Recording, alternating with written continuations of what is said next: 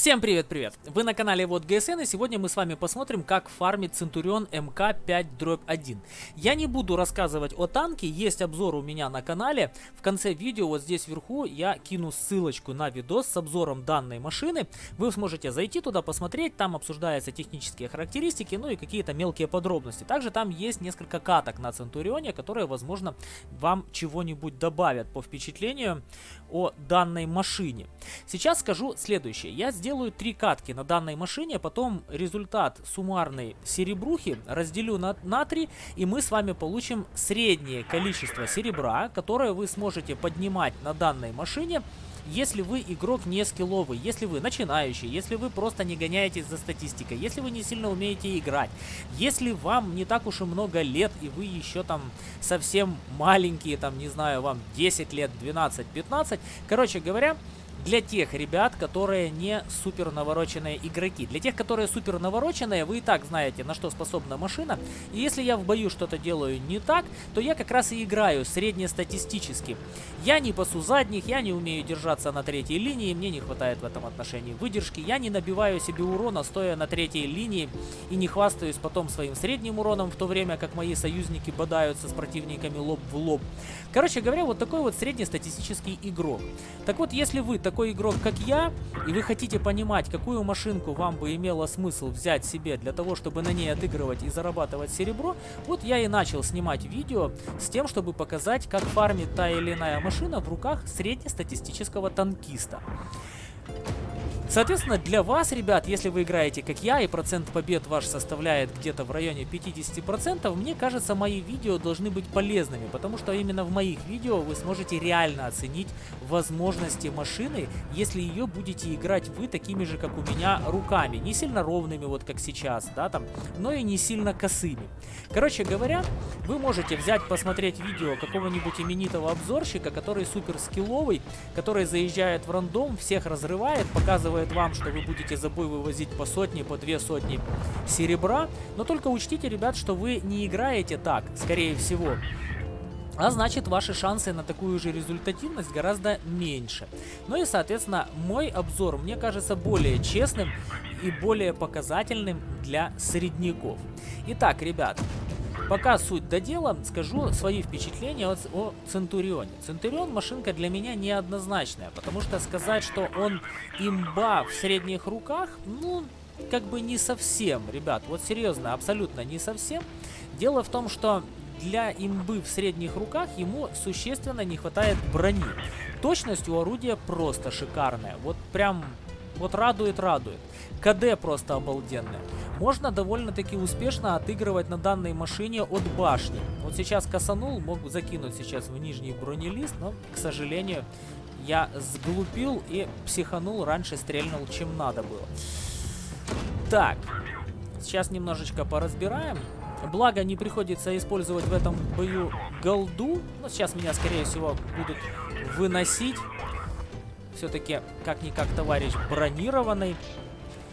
Так, попытаюсь немножко откатиться. Все-таки объектик перезаряжается долговато. Это мой шанс кинуть хотя бы еще одну тычку. Жалко, конечно, что меня сейчас вынесли, потому что это существенно отразится на количестве серебра, так как после того, когда вас убивают, с вас еще снимается за ремонт техники. Итак, первый бой мы, ребят, отыграли, записываем свои честные результаты и смотрим на нашу результативность, то есть что нам понадобилось для того, чтобы получить такой результат по серебру. 2400 единиц урона, знак классности третьей степени. Но, в принципе, как бы довольно-то и неплохо. Не имбово, не прям нагнул всех, но сыграл. Теперь давайте посмотрим на результат по серии. Серебром я буду брать без учета премиум аккаунта. 38 тысяч серебра. С премом, если захотите, посчитаете себе отдельно. Что это в результативности нашей команды? В результативности команды второе место по урону, и можно сказать, что ну, мы с первым граничим там, можно сказать, ноздря в ноздрю. Буквально 30 единиц нас отделяет друг от друга. Погнали в следующую катку. Я не знаю, какие катки будут, я не вырезаю ничего в своих видео. Я почему и говорю о том, что мои обзоры являются максимально честными, потому что я не играю огромное количество каких-то каток и не вырезаю из них потом самые красивые показательные бои и не говорю, что вот так вот машина будет вести себя в ваших руках. Я просто беру машину, при вас выгоняю ее из ангара, играю так, как сыграла команда, так как сыграл я, тупанул я, не тупанул. Ну, то есть у каждого в своей свои бывают ситуации. Если вы там мега какой-то подкованный, может вы гораздо меньше тупите в боях, знаете все тактики, стратегии и так далее. Но таких ребят очень мало. И мне кажется, что как раз больший процент игроков играют приблизительно так, как играю я. Ошибаются, принимают неправильные решения, едут отдельно от команды или наоборот едут с командой вместо того, чтобы отдельно где-то в тыл проскочить. Короче говоря, каждый играет по-своему. Так вот, я свои видео снимаю без вырезок, без склеек. И плюс к тому, ребят, все, что у меня есть, заработано мной, моими пальцами, исключительно моими играми, исключительно моими донатами, пускай там какие были, такие были. Я не скупал все, что не попади, я знаю цену голде, и мне никто не дает никаких пресс-аккаунтов на покататься на халяву, там, где у меня прям все открыто, или дофига голды и так далее. Меня никто не подкармливает, поэтому, ребят, я и имею смелость утверждать, что мои обзоры исключительно честные. Так, что мы имеем? Мы имеем вот такую вот беду. Надо снести вот это вот, для того, чтобы видеть противников. Благо, КД позволяет это делать.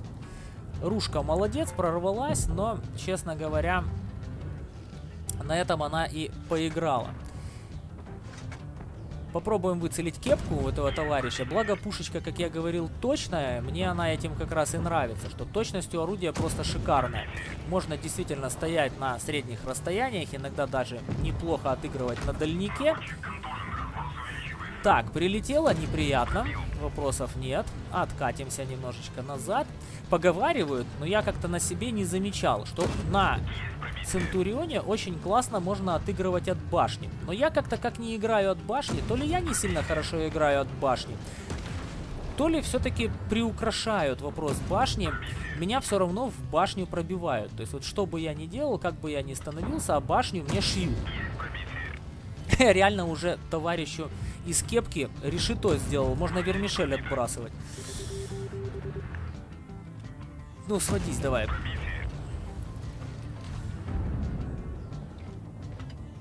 Не, ну вот это, конечно, не очень было хорошо. Я бы уже давно мог отбросить.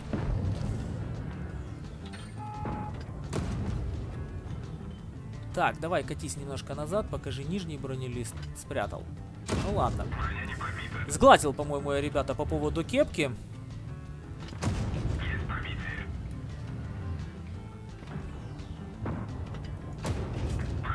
Ну, вот еще чуть-чуть, еще один шотик сделать ему. Главное, от жадности сейчас не слиться. Есть, вынесли. Но за это время приехали в корму. Такое тоже бывает. Что тут у нас? А, у нас тут беда бедовая случилась. Сейчас меня будут в ангар отправлять. А я туда очень сильно не хочу. Так, ну и что делать? Ну вот, в принципе, и закончился бой. Сделал все, что смог. Пробили меня в башенку. Ну а с кормы, когда заехали, так вообще печалька была.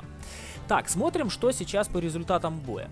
Я не думаю, что кто-то может сказать, что я не сделал ничего для победы. Я сделал все возможное. Я сделал два фрага, сделал две с половиной тысячи урона. Давайте посмотрим в результате нашей команды. Я занял абсолютно таки с огромным отрывом в тысячу урона первое место. И давайте сейчас единственный момент пропустил, я почему-то выключился. Смотрим на подробности по серебру. По серебрушке, с учетом того, что, ребят, мы проиграли, нам дали 23 600 урона. Я напишу 24.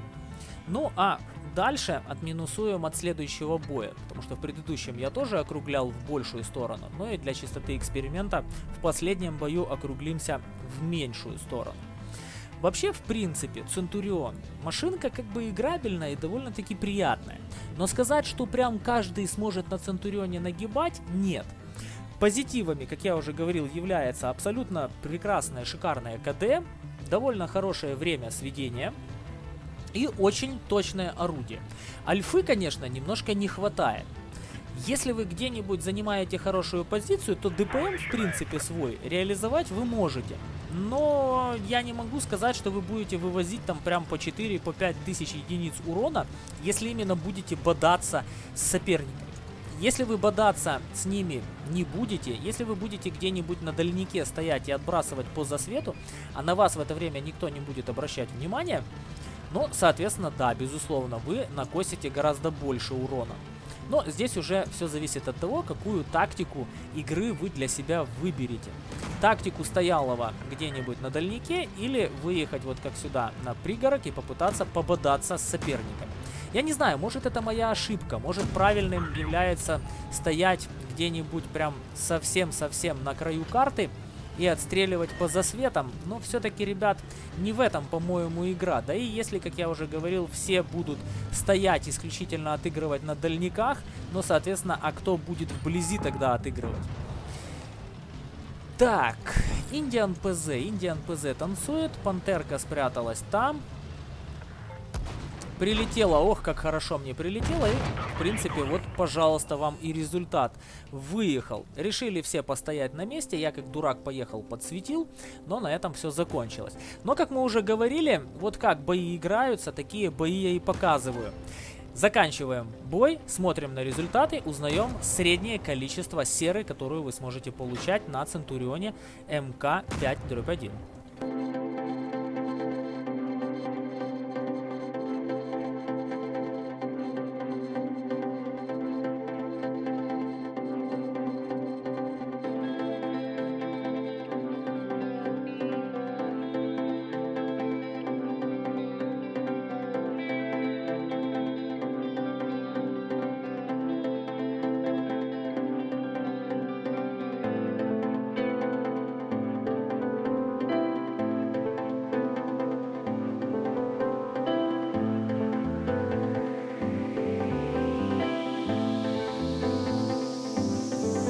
Итак, друзья мои, как я и говорил, вырезать я ничего не собираюсь, это моя принципиальная позиция. Бои такие, какими они есть. Я об этом предупреждал заблаговременно.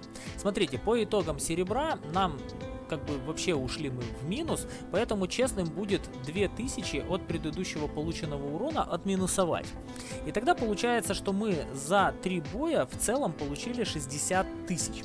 То есть за один бой в среднем, если вы играете вот так вот, допускаете ошибки, выкатываетесь куда-то, ну, в общем, короче говоря, упарываетесь, как это у меня получилось сделать в последнем бою, вы будете иметь в среднем по 20 тысяч серебра. Это абсолютно немного. Но, ребят, если упарываться вы не будете, то я думаю, что ваша результативность поднимется, но не существенно, где-то в районе 30, максимум 35 тысяч серы в среднем вы будете вывозить. Да, безусловно, будут какие-то обалденные бои, в которых вы будете получать больше серы.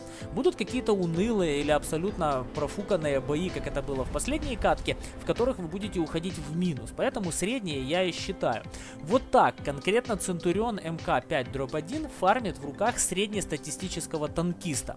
Будьте к этому готовы, когда будете принимать решение при покупке данного танка, если вы играете приблизительно так же, как показали мои, ну пускай не последняя катка, но первые две. Вот если вы так играете, вот на такой результат вы и рассчитываете. Безусловно, если вы более скилловый игрок, более подкованный, гораздо больше времени посвящаете игре, но, соответственно, данная машинка будет вам приносить серебрухи гораздо больше. А на данный момент у меня все. Подписывайтесь на канал, если вы желаете получать честную, абсолютно никем не проплаченную информацию о том, как играются танки, проходные, либо премиумные машины, честные обзоры на них и честная информация и обзоры на товары в магазине. Всех благ, всего хорошего вам, мира и спокойствия.